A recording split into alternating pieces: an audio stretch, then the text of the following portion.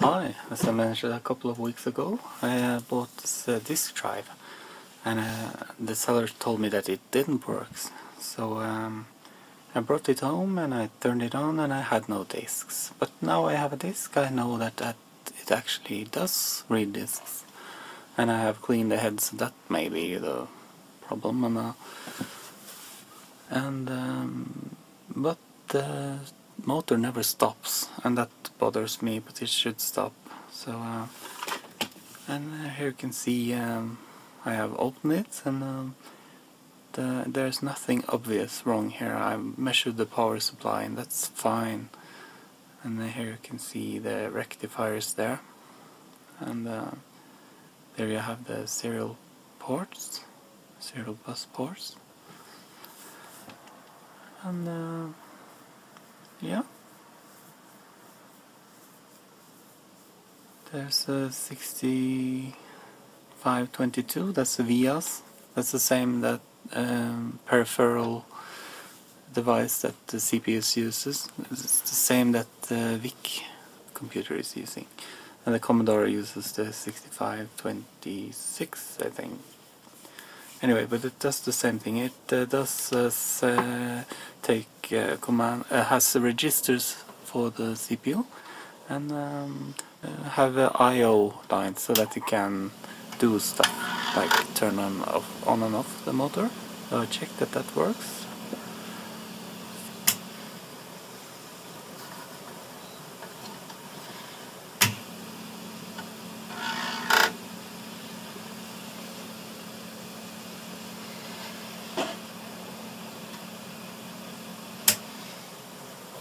I've been looking at my drive for a while now. I wonder what's wrong with it.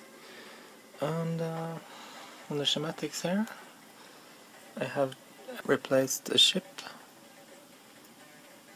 here, and here's the motor connector. Oops. And um, you can see there's a ship here. Actually, this one is not uh, present on the board. You can see CR10 there. Uh, it's not there. Uh, actually, it's shorted out. So the reason for that is because 7404 is not an open collector output, but uh, 7406 is. And 7406 was what came with this board. And uh, this one is also new. So I don't think uh, that's the problem here. Okay, so the problem here is that uh, when I switch it on, the motor just runs and runs and runs forever. So I have uh, measured out on the power connector for the motor and uh, that one also stays on forever. Uh, that means that uh, this line is low. And I measure on this side and this side looks okay. So this one goes uh, from high to low that means uh, the motor should go off. So if this one goes low this line here should be pulled to 5 volt. Uh, but that doesn't happen. It, it gets pulled to uh, 0.66 volts something. And uh, that sounds like a di diode that is active somewhere. You know when you hear numbers like that you uh, you should think about diodes or maybe um, something with a diode junction anyway. But you can see this strange line here this is uh, connected to it. And this is uh, hybrid ASA and uh, the reason for they have that as you can see on the board here mm, uh, this board has a short uh, motherboard as you can see or PC assembly as we call it and uh, all the analog electronics electronics is here. That's uh, the electronics that reads from the head. You have to have an amplifier and uh, there are four or five stages I think. And all of that happens in here. But that's not all if you can see here. Uh, the line we were talking about here up here the from number 3 here and down here so there's something called out. And you see there are plus and minus up here and here you have the diode that I was uh, suspecting because we had this um, strange uh, phenomena of 0.6 volt on this uh, line here. So uh, I have pulled that up. And uh, guess what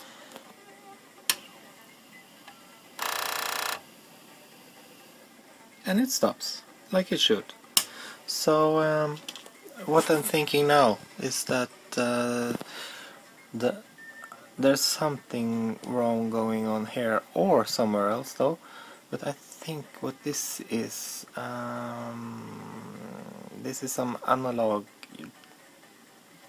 adjustment thing going to power the motor faster or slower because this is a part of a, uh, a phase locked loop, I think. I'm not completely sure. So, um, well, what is the diode doing then? I'm not completely sure, but if you look here, I was suspecting maybe there's something wrong with this uh, capacitor, maybe it's shorted out. I will try and replace that, but I doubt doubt it is this one, but if this is shorted, yeah, sure, then we'll have a ground here. But uh, if there's in the hybrid IC, I have to change the hybrid IC. So if I change the capacitor here and it works, then uh, I know it's this one. But if it's not this one, then um, oh, well, then we have to figure out what's uh, what's going on here because. Uh, lock the phase of the rotating motor I think. It's a part of a phase locked loop. So uh, and when you're talking about loops then it doesn't have to be this IC it could be somewhere else that is pulling this uh, telling this IC to go low all the time. So I have to look further into that but anyway that was a great find. So uh, Okay, I have bodged in a capacitor here, the C22 that we looked at on the schematics. You can see here. And does it work now? I was suspecting this one to be shorted out, the other one I replaced. So let's turn it on and listen.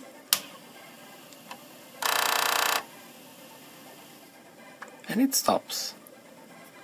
I'm really happy that this, uh, as you can see here, this uh, hybrid IC isn't the culprit because uh, uh, it would be a pain to get back but that was an easy fix. So uh, yeah it pays back to look at the schematics and uh, think what where does the current go and replace the easy parts first. I hope you liked it. And now I'm going to put it back together and let's try and load the game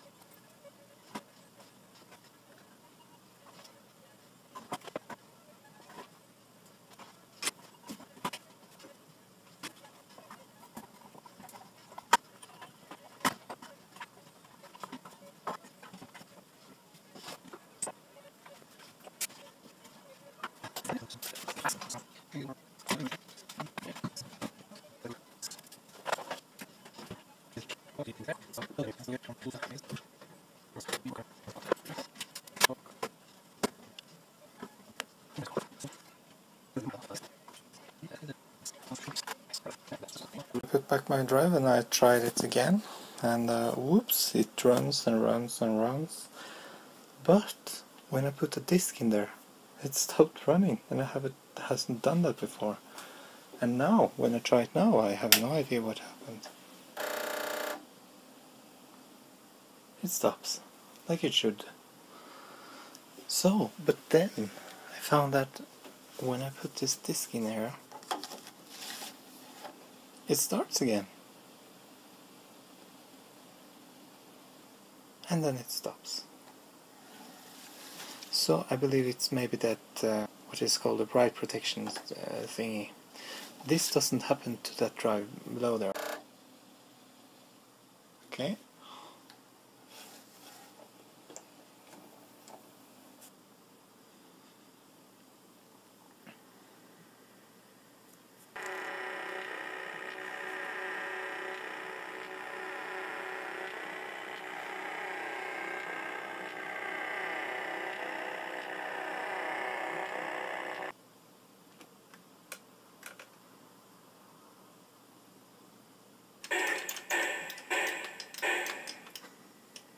Playing one-handed. Never played this game before. Okay. I'm such a noob.